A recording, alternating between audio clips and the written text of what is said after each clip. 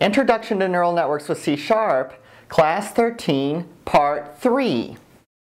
Welcome to Part 3. In this part, we are going to see how to actually implement the recognition part of the OCR application. We're going to see what we need to do to determine which group belongs with which letter because when we train with these letters that we have provided to the neural network, it just tells us that it has found a match for each group. It doesn't tell us which group belongs with which letter. We need to actually feed the data that we trained it with back into the neural network and see which group each of the sample letters are in. That tells us which group corresponds with which letter. We're going to also look at how this application might be expanded. This is a very simple implementation of an OCR application. OCR would require many additional features to create a full application. And we'll look at some of those that you may wish to add on your own if you would like to learn more about optical character recognition. We begin by looking at the structure of how this program recognizes. Here you see the code that generates the training data. We first calculate how many input neurons we're going to have. This is the downsampled height times the downsampled width. As you saw in a previous part, this would be 8 by 8 or 64. The output neuron is the number of letters we have, so 26 potentially if it's 26 English letters. Then we loop over the entire list of our characters and we retrieve them one by one. Then you see the two nested for loops inside of the, the outer for loop that's counting up to the size of the model. The x and y for loops, they are basically looping across all of the samples, all of the height and width samples, and creating a value for 0.5 if the pixel is solid or negative 0.5 if the pixel is not solid. This creates the training. Another very important aspect that the program must perform is to map the neurons. We have the output neurons. Say we're recognizing the 26 Latin characters we're going to have 26 output neurons. However, which output neuron belongs to which character?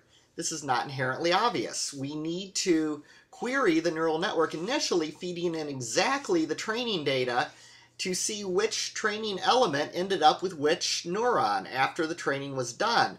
We start by creating a character map that holds the number of characters that we were actually training on, and we initialize all of the values to question marks.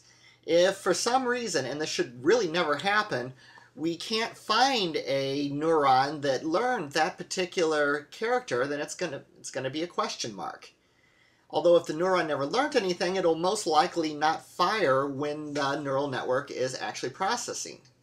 Then we loop through and we begin to present each of these characters to the neural network one by one. So we're using the same, we're using exactly the same data that we trained it with. We're creating these, these pixel maps using 0.5 for a pixel, negative 0.5 for a non-pixel, and you see, like we just did previously, we're basically repeating this process, and we are feeding exactly the data that we trained with back to the neural network to make sure that we know which neuron actually won for each training set. We then call the neural network and we set its result equal to best. That's going to be the best neuron, the one that actually fired. And then we set that map array element for index by best to the letter that corresponds to the training set element that recognize that letter. This is the neuron that represents that letter. This is a very simple OCR program. It is designed really only to allow you to recognize one character at a time. There are many aspects that you would need to consider if you wanted to create an industrial strength OCR application. One of the first things you would want to do is look at a page of text. There are lines. You will need to break the text apart into individual lines. You could use a neural network to do this. This would most likely be a separate neural network from the character recognizer. This is an important concept in neural network programming. You don't want to create one net neural network to do everything. You can create a series of neural networks to perform different aspects of the application.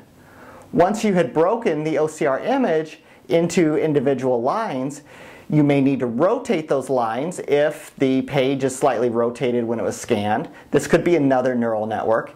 Then you will need to take the individual lines and attempt to find the spaces, both spaces between words and spaces between letters.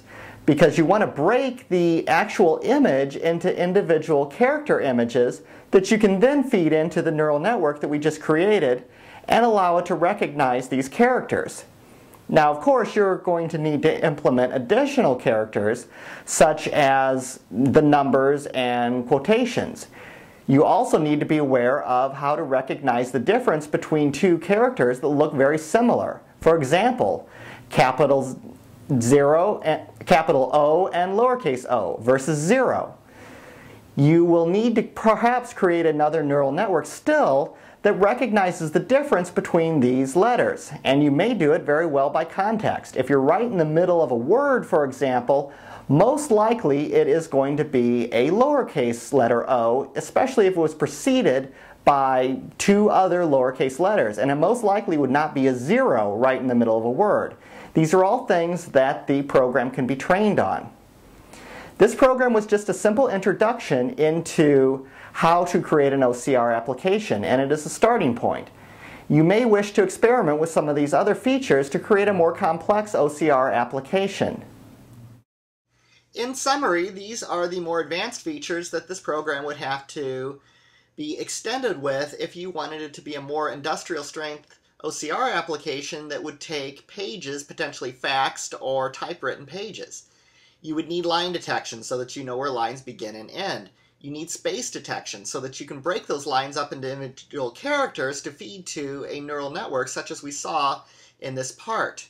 You would need to be able to recognize capital letters and digits so that you know the difference, worst case scenario, between capital O, lowercase o, and zero. All three of those look the same, and it really takes some sort of a contextual processing to know which one it really is. So you would need to look at the context of the letters around the letter that you're currently scanning.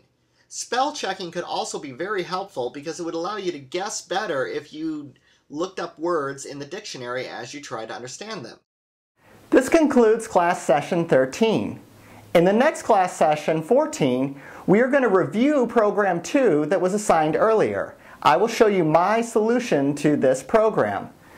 I hope you will continue with class session 14. Thank you. This course is based on our Introduction to Neural Network Programming books for Java and also Introduction to Neural Networks for C Sharp. Available in both paperback and ebook format.